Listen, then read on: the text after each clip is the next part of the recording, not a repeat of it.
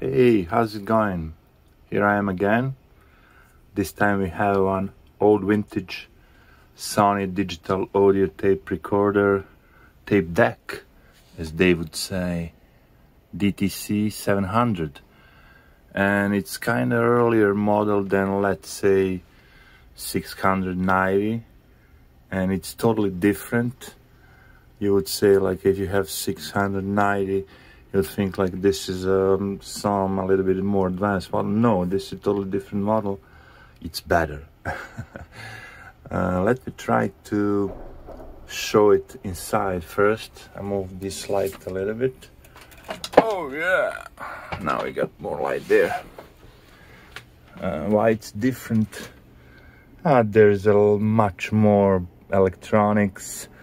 Uh, it has excellent power board here and uh, look at that huge cap. And the mechanism is different. The major difference is this deck has uh, direct drive motors four motors so less belts. And yeah let's put some more light so you can see it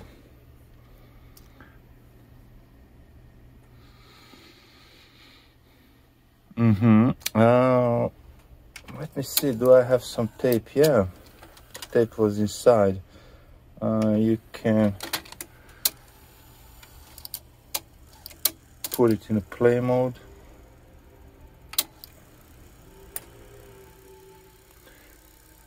The sound that you hear, the noise is from the my street, New York street. so this one is, let's say, completely serviced because it's working perfectly fine, just fine. Uh, whatever you throw at him, it, it's gonna do it.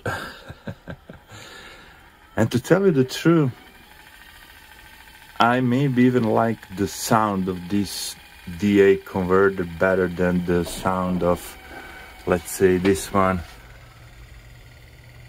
even this one is newer and better and sophisticated and aspect serious and everything but I know the mechanism here is much better than in that one. It's simple.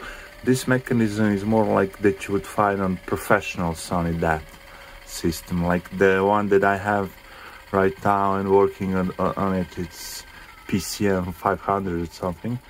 It has similar, uh, more metal parts, less plastic let's say like that.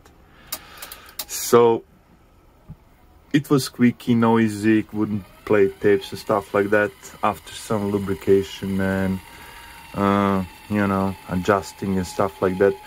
Uh, I tested it with all my tapes.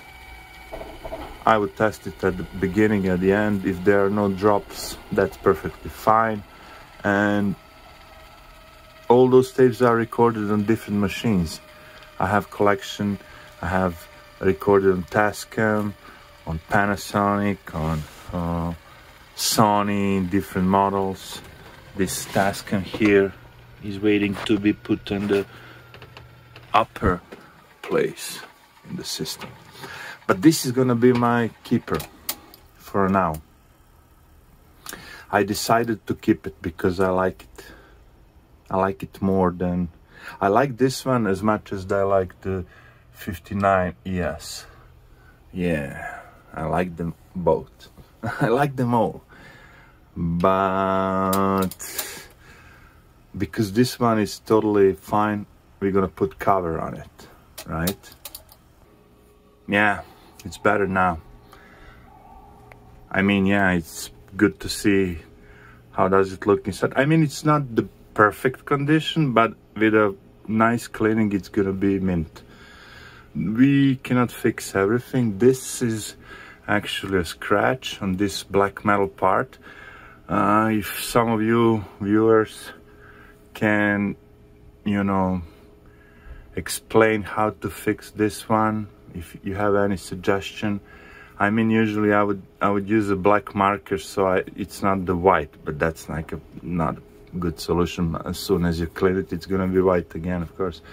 It's good temporary, and if you put some other component on top of it, you're not gonna see it, of course. That's the best solution. But again, if you have some solution for, you know, refurbishing these black metal parts uh, in cheap, easy way, and as I mentioned, I'm a web designer, webmaster. Uh, this is my hobby. And since many people and me would sit in front of YouTube and watch the videos or, or whatever, I decided while I'm watching videos, why shouldn't I try to repair something? And I don't have money or some kind of budget or something uh, it would help if I set up a Patreon or something that some of you viewers could help to buy new stuff and testing and fixing it. But yeah, sometimes I'm I'm lucky that I would sell something for some decent amount of money, so I can buy some other stuff that's not gonna be, uh, you know, salvageable or whatever. So, eh, my mission is to show to to archive as much as I can these old stuff that will gonna end up in landfill one day of course some of it will be uh, somewhere in the saved but as you can see I don't have Nakamichi Dragon here. Probably most expensive thing is this JVC 3 head cassette deck because it's direct drive motor. That's why I'm deciding to keep this one. It's gonna it has direct drive motors.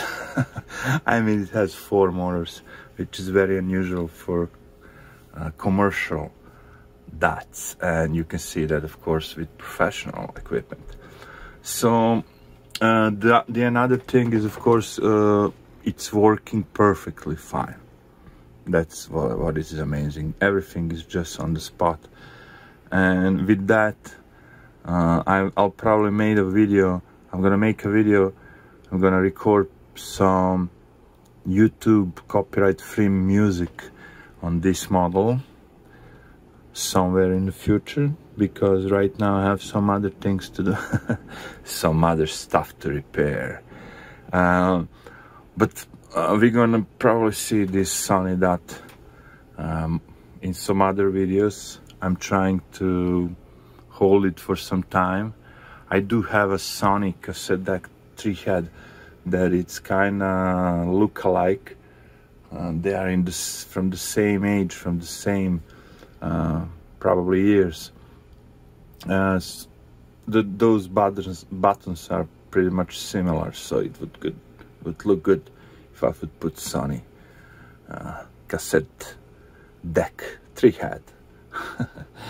Uh, we'll see, we'll see. All I wanted to make a video with this one and who knows maybe i'm gonna sell it but even if i'm gonna sell it i'll try to make another video and you know to show you all the stuff uh, anyway if i show you what can do one DAT what can do Sony DAT they're basically the same so if you learn you know like all those buttons then you know for all that. and it's the same for all other that doesn't matter if it's Sony or some other company so there is not too much to to be said about all that stuff. Uh, I mean, but uh, we're gonna record one tape from analog source, or maybe even digital. Yeah, my computer audio card has digital output, and then I'm gonna connect digital output, right? Doesn't have to be no it should be analog so we can demonstrate how can you uh, you know master your recording levels because sometimes people will go over and that would make distortion. We don't we don't want to do that. Yeah? That would be it for this video. See you next time. Take care